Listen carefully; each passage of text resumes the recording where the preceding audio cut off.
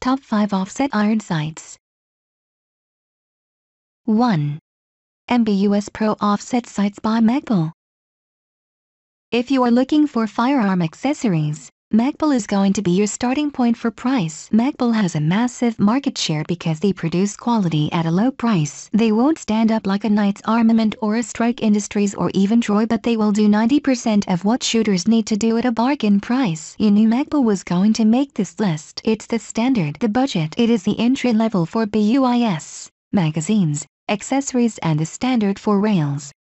The Magpul MBUS Pro offsets are built solid, made from melonite coated steel, they lay flat and need just a bit over 0.66 inches of rail space to do their job. The MBUS Pros are adjustable. The rear sight adjusts windage while the front covers elevation. Unfortunately, they only come in black. The Magpul MBUS Pro offsets are built solid, made from melonite coated steel. They lay flat and need just a bit over 0.66 inches of rail space to do their job. The MBUS Pros are adjustable. The rear sight adjusts windage while the front covers elevation. Unfortunately, they only come in black. 2. Diamond head iron sights.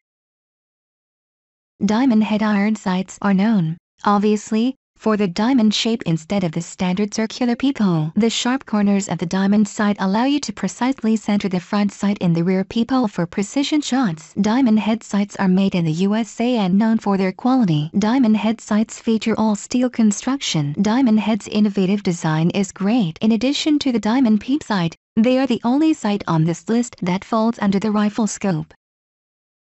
3.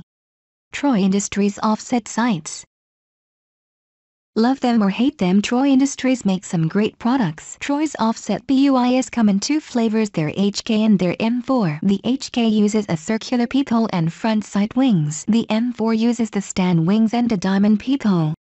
HK sight wings create a dioptric effect allowing you to acquire targets faster. However, with offset BUIS you adjust the elevation with the front sight post using the rear adjustments only for windage. This can make HK sights difficult to zero for elevation, so if you are in doubt go with the M4. 4.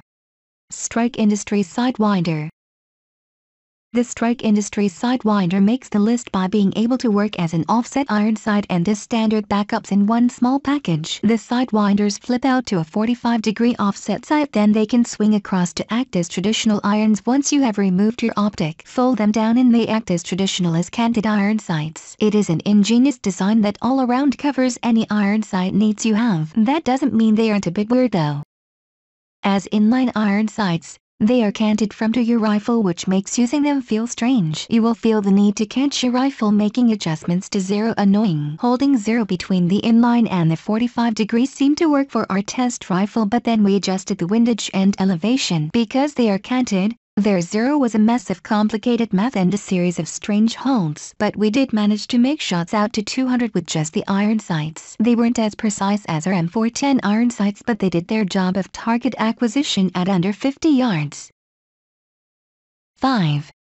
Knights Armament Knights Armament is one of the go-to manufacturers for special forces. Their offset sight is rugged, precise and folds down into a barely noticeable package. I would run Knights armament sights on every rifle I own if I could. Thankfully for my wallet, I don't have to.